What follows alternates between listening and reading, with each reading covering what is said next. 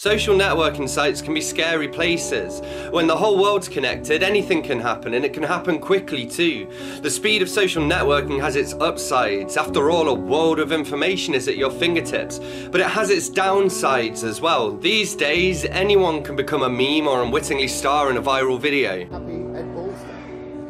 Well, you know, um, I've no idea what goes on with this ridiculous uh, thing. You cannot let this skeezy website destroy your marriages.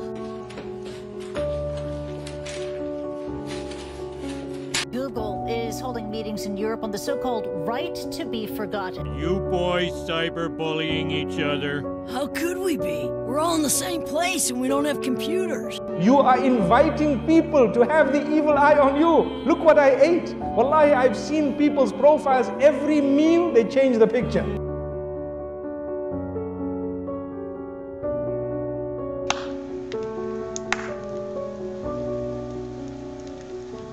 Hello, ladies. Look at your man. Now back to me. Now back at your man. Now back to me.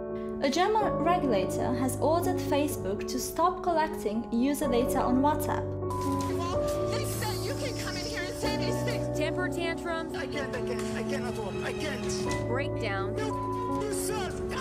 And fights with customers. Let us not allow the negatives to overshadow the positive. Have you ever had that moment when you're updating your status and you realize that every status update is just a variation on a single request?